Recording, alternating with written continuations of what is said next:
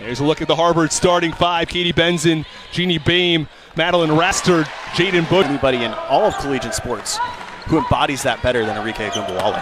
Absolutely. There's Ogunbowale underneath. Another miss from Sydney Skinner there. As Ogunbowale looks to drive to the basket, she kicks out. It's Young from three. She's got Lewis Academy from New York City. Ogunbowale underneath the Shepard. Again looking for Raster, but it's taken away by Jordan Nixon. Ogunbowale transition once again, off the glass and in. Katlyn Gilbert here on the floor, number 10 for Notre Dame. Her first game with the Irish. Bounce pass underneath, Turner, no good. Rebounded Shepard, back up and in. Goes in there for a little bit though. We'll have to see if that plays any role as we hit the final moments of this first quarter. Shepard underneath receives some pressure and some in the national championship. 800th win at Notre Dame. At Notre Dame, that is. Yeah. That's right. Yeah, 888 total in her career. Does doesn't get much better in terms of your eight for the Fighting Irish in the early going. Turner underneath, nice find from Shepard. This time the layup won't go either. no, Harvard not getting a bad couple looks here. Just some, some things not bouncing. Defense and transition packages for Notre Dame at halftime, Austin. And Ogunbowale transition one more time. Wow. The bucket and the foul. Position one more time. Turner up. Oh, what a block. Unbelievable block by Skinner there.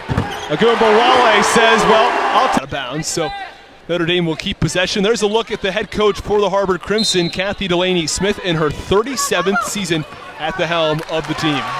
WNIT in the first round.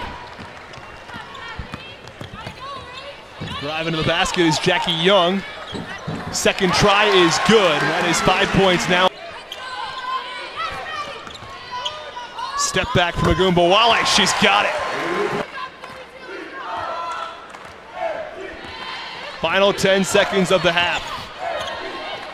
Young plays it inside a Turner contact. No call, but she gets the basket anyways. A turnover. Shepard, And the buzzer beater to end the half. To get things going in the third quarter. There's Shepard. Get those shots get the mismatches inside where they can get them.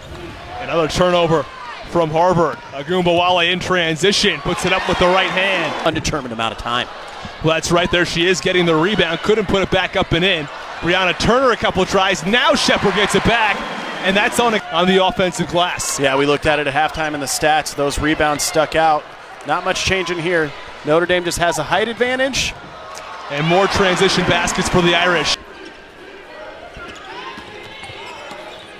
Blocked underneath by Turner. Irish transition. One more time. Ogunbowale laying it. That'll be a foul on somebody with that much contact. The question is, who is it? And I agree with you on the tie goes the runner, the out. Trainer. Notre Dame takes it up court for the Irish. I beg your pardon, that's, that's Nixon. The Irish doubling up the Crimson. A jumper from Agum, 16 called on the Harvard Crimson. Ogunbowale, another jump shot, it's good. Out uh, here in the second half. So Notre Dame getting a number of blocks from Turner. I'd, I'd, have to imagine it's a little more than one as well. Played underneath the basket, it's up. But on the flip side, backside, great offense there by Harvard. Way to go up strong. Get the foul. It's exactly what they need. Yeah, nicely done by Bush. Those are her first three points. And Redford across half court for the Irish. I beg your pardon, that's Nixon. Plays it underneath. Player overall, it's made her mentally stronger, you know, and she expects her to be able to rotate between that point guard and that wing position pretty seamlessly this year. Not happy with from this game. She's not going to be happy about the turnover. She's definitely going to talk to the team about that. And, and to me, that's what makes her one of the best coaches in the nation. And it's why people like Brad Stevens Noon Shepard, 12 for 16. Let's speak and of Shepard and Jackie Young. Shepard with a. Well, she's kept Harvard to under 50 points. Still five minutes to go. In that AP poll, unanimous number one. Louisville. Even though Louisville, they had some struggles last year against Louisville, they feel that this no see if they can generate anything here offensively with a much, much younger lineup. You just can't stress it enough how valuable these minutes are for these players. Nice extra pass in there. Playing it underneath Vaughn. One more time. She's got it again.